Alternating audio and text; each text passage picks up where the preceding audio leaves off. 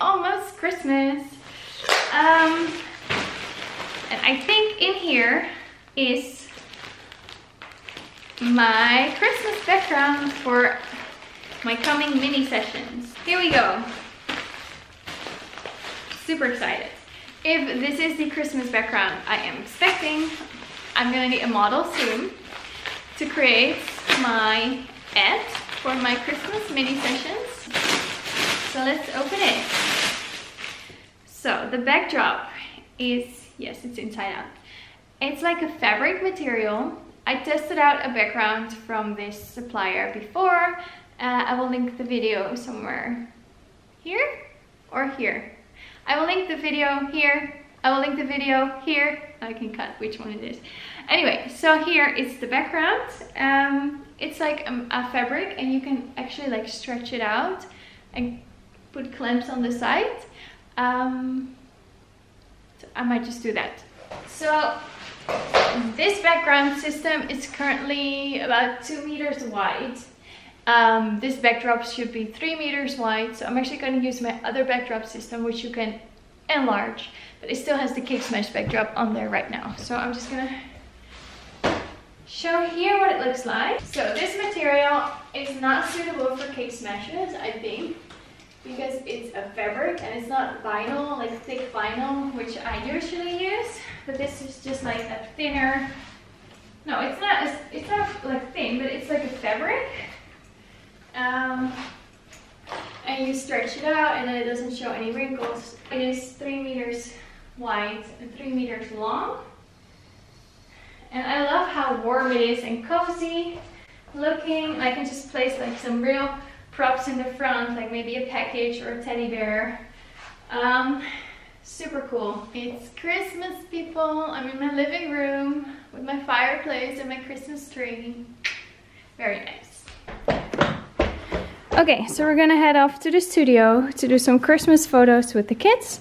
I have a book that they can pretend to read, it's Oliver Twist, uh, because of the color of the book.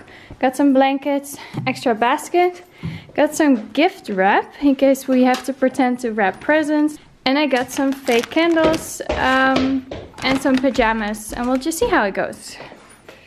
Okay, so today is Sunday and we're in the studio to take a test shot of the Christmas background.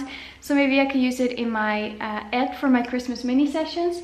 So first I'm gonna throw on the Christmas background here. The kids are changing into some Christmas pajamas. Um, and um, we'll just see what it looks like. It would be cool to get our puppy in here as well, but I just wanna try some test shots. And then if the final decor is ready on the mini sessions day, maybe the end of the day we'll get our kids again into the studio with the puppy and then take a photo of them together, but not today.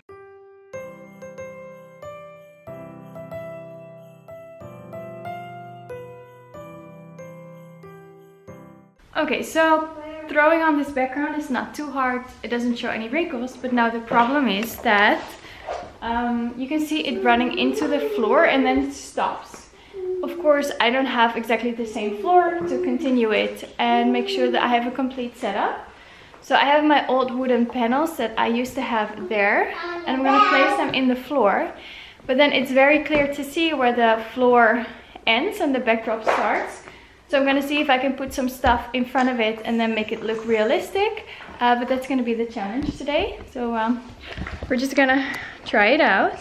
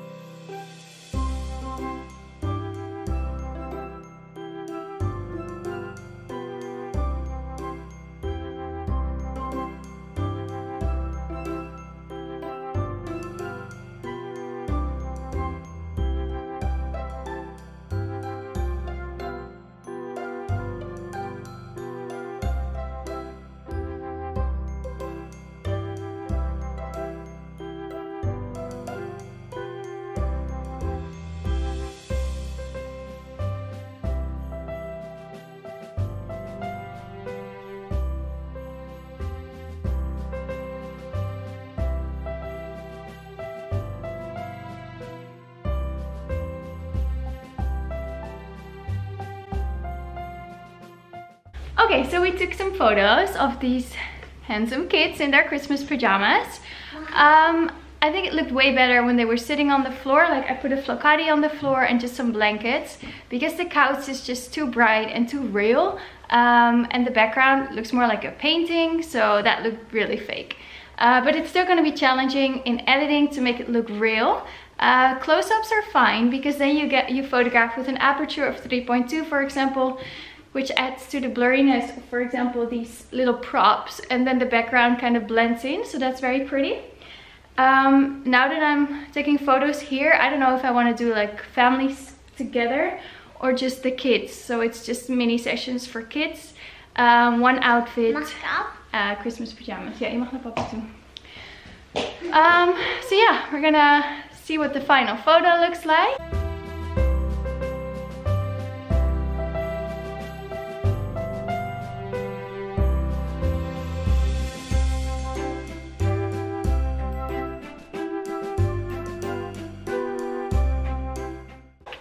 Thank you so much again, my model.